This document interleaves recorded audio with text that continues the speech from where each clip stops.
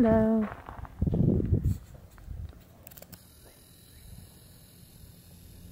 Yeah, I hear them a little bit.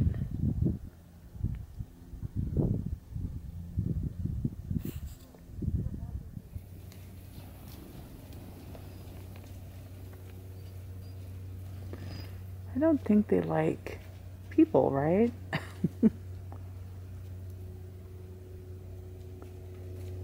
They're actually bigger than I thought.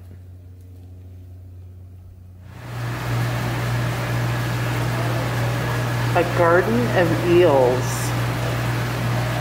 Some moving more than others. Kind of creepy. I've never seen these before.